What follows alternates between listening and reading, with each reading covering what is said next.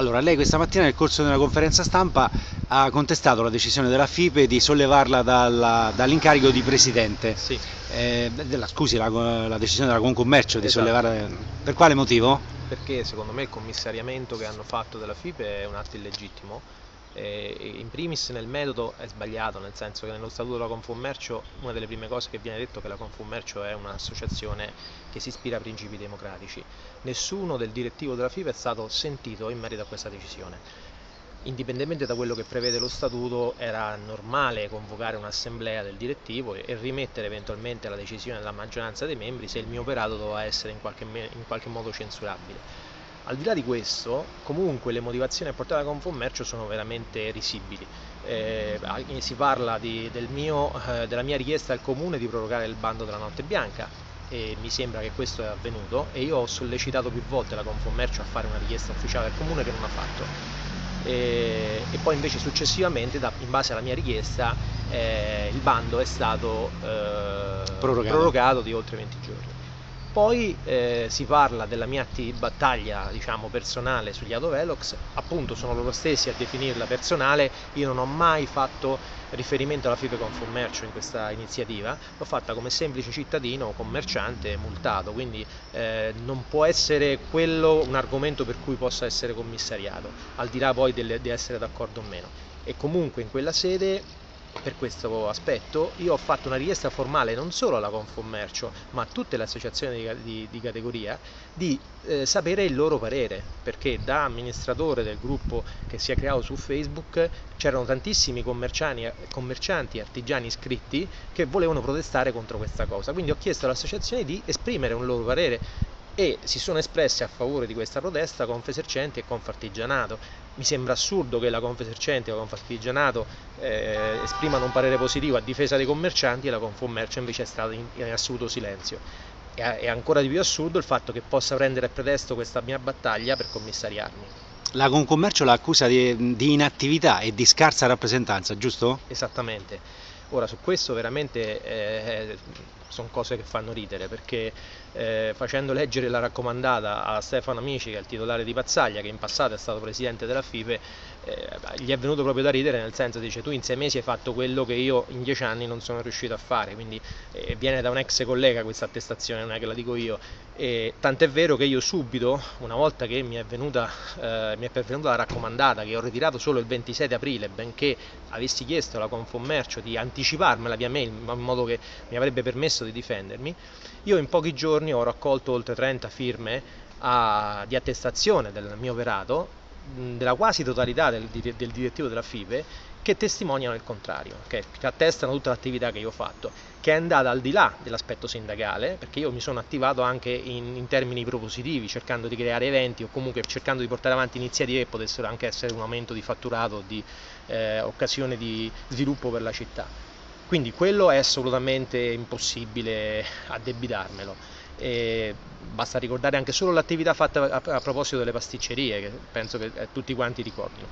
Per quanto riguarda la scarsa rappresentatività, ancora meglio, nel senso che io nel momento in cui è stata fatta l'assemblea era un semplice iscritto. L'assemblea è stata convocata da, da Fabrizio Chiani, e allora e tuttora dipendente della Confommercio, e in quel, e in quel tempo c'era Porcacchia.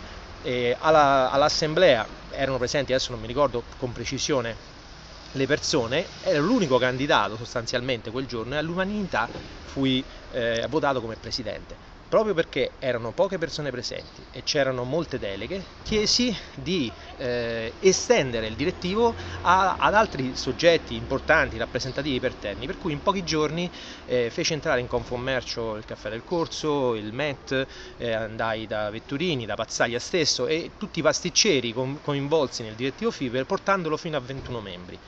Queste sono cose attestate con comunicati ufficiali della Confommercio, quindi si contraddicono loro stessi con, eh, con con i loro comunicati. Benissimo, adesso lei cosa intende fare? Lei che fa? Un ricorso contro questa decisione? Esce dall'associazione? Ne fonda un'altra? Che intende fare? Allora, eh, il ricorso, come ho detto, cioè il, il commissariamento è illegittimo e fa diciamo, acqua da tutte le parti. Potrei iniziare una battaglia che si preannuncerebbe lunga e dispendiosa anche economicamente perché poi io dovrei utilizzare i miei soldi, loro probabilmente quelli della Confommercio, cioè quelli dei commercianti. ma non avrebbe senso perché anche se io da qui a un anno e mezzo poi riuscissi in qualche modo a dimostrare queste cose e a, e a farmi ri, ri, eh, ammettere come presidente FIPE, già so che oggi la FIPE non esiste più perché molte persone che fanno parte del direttivo già sono uscite dalla Confommercio o hanno manifestato l'interesse di andarsene. Quindi ne fonda un'altra. Quindi eh, ritengo maturi ormai i tempi perché nasca una nuova associazione di commercianti che sia effettivamente un'associazione che faccia attività sindacale, cioè a difesa degli interessi dei commercianti, perché in questo momento non ritengo che la Ecco, Confcom... lei, ecco lei, lei, scusi se la interrompo, ma lei è molto critico nei confronti di Confcommercio, perché? Che cosa addebita la Confcommercio? Perché secondo me, eh, al, al, senza dilungarmi su quello che è successo nei tempi di Porcacchia, io tra l'altro sono entrato pochi mesi prima che fosse arrestato, eh, da quando io sono in Confommercio la vedo completamente appiattita su quelle che sono eh, le esigenze del comune, non sulle esigenze dei commercianti. Eh, è notorio che l'assessore Bengivenga mi fa una guerra personale del tutto immotivata, non, non, riesco a parlare con questa persona, con gli altri assessori sono riuscito in qualche modo ad avere degli incontri, degli appuntamenti, si sono dimostrati anche disponibili, eh, non riesco invece da, a, dal 29 marzo dell'anno scorso che abbiamo un appuntamento, viene sempre rimandato e mai più eh, avuto modo di parlare con Bengivenga per affrontare come presidente FIBE i problemi della categoria. Addirittura gli ultimi tempi, prima che fosse arrestato, con Porcacchia eh, convocavamo le riunioni e lui do, eh, diceva proprio guarda Bartoli non c'è e io mi presentavo all'ultimo minuto all'improvviso. Questo perché se no altrimenti io non ero una persona gradita. Ora questo è un comportamento assolutamente non opportuno, non ritengo che sia neanche lecito e questa cosa ha avuto ulteriori sviluppi durante la manifestazione di Cioccolentino che io ho denunciato anche a, alla magistratura e questa cosa ne ho informato la Confommercio e anziché eh, prendere una posizione in difesa di questa, di, di questa mio diciamo eh, operare. Eh, sì, operare di queste mie ingiustizie che, che, che subivo eh, di fatto si sono schierati sempre a favore del comune con un comportamento ostruzionistico, mai portandomi a conoscenza di fatti importanti e addirittura adesso quando io ho iniziato la battaglia con gli autovelox addirittura utilizzandolo come pretesto per commissariarmi. Chiaramente io l'ho fatta la battaglia contro gli autovelox non per andare contro Bencivenga ma eh, in riferimento alla situazione stessa dell'autovelox. Poi il fatto che sia lui il responsabile di questa cosa eh, voglio dire non è che ci posso fare niente io. Quindi diciamo non era una campagna contro Bencivenga era una campagna contro il sistema di gestione degli autovelox loro, ripeto, anziché loro con commercio. commercio, sì, anziché come hanno fatto altre associazioni sposare questa battaglia, l'hanno utilizzata come pretesto per commissariarmi. Allora, io non capisco qui per quale motivo sono in sintonia, ben ci venga la Confommercio, cioè tutti nei confronti miei, cioè qual è il motivo? Mm, mi sembra veramente una, una cosa abbastanza, eh, voglio dire, equivoca, insomma, ecco questo discorso. Ho capito. Un'ultima domanda, visto che lei è alla testa di questa associazione eh, che è nata spontaneamente eh, contro l'istituzione degli autovelox, a che punto è la situazione? Allora, cioè come intende operare da allora, qui in avanti? Noi siamo in ancora futuro? in attesa che il prefetto ci... Eh, ehm, ci accetti un incontro perché riteniamo che anche il prefetto debba in qualche modo eh, prendere parte a, a, a, delle decisioni importanti che dovranno essere prese dall'amministrazione. Io oggi stesso ho mandato una mail alla senatrice eh, Fioroni eh, come esponente del Partito Democratico eh, sottolineando la gravità delle affermazioni del sindaco quando afferma che eh, il 50% dei ricavati delle multe non, non verranno investiti in sicurezza perché tanto è un obbligo che non rispetta nessuno. Nell'ultimo decreto sulle semplificazioni Monti ha addirittura inasprito questa regola eh, mettendo delle penalità laddove i comuni non investano il 50% degli incassi delle multe in sicurezza avranno la penalità eh, del 90% degli incassi che verranno sottratti e eh, una segnalazione alla Corte dei Conti proprio per eh, diciamo, irregolarità eh, contabili. Eh, quindi da questo punto di vista ormai la, la, situazione è chiara, cioè il comune deve prendere delle decisioni, eh, sicuramente farà dei correttivi, noi a questo punto chiederemo una norma transattiva.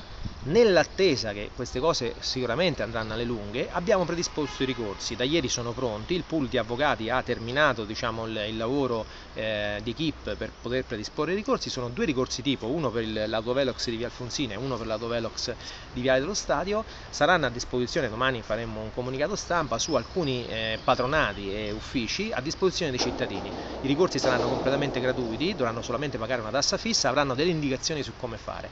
Eh, aspettiamo che venga discusso il nostro atto di indirizzo in Consiglio Comunale e speriamo, ripeto, eh, che ci sia da parte del Comune una disponibilità a trovare una soluzione. Ecco, io da questo punto di vista ehm, vorrei proprio rivolgere un appello al Sindaco, nel senso eh sono un po' cose che sono si, si, simili, nel senso che anche nei confronti degli Adovelox noi abbiamo chiesto incontri con eh, l'assessore competente, anche nell'ultima riunione che abbiamo avuto con il Consiglio Comunale è l'unico assessore che non si è presentato alla, alla nostra, alla nostra c'era tutti, c'era il sindaco e lui non c'era. Ecco, tutti mi dicono che eh, Di Girolamo è una brava persona e quando tante persone parlano bene di, di, di un'altra persona evidentemente de, del vero c'è. Io non lo conosco personalmente, non, non posso dirlo, ma mi fido di, della maggioranza delle persone che ho incontrato e ritengo che se appunto il sindaco di Terni considera una brava persona, non, non penso che gli faccia piacere che possa essere ricordato come il sindaco che permetteva a degli assessori di fare il bello e il cattivo tempo, perché quello che ha fatto Bengivenga nei confronti della FIBE Confommercio sicuramente non, non rasenta illecito e l'atteggiamento che sta avendo nei confronti della marea di cittadini oppressi dagli autovelox ugualmente non rientra nello spirito della, diciamo, eh, dell'apertura, della trasparenza dell'amministrazione nei confronti dei cittadini. Quindi io chiedo proprio al sindaco di Girona che prenda in mano queste situazioni e, e diciamo in qualche modo ne esca fuori in maniera anche consona alla sua immagine.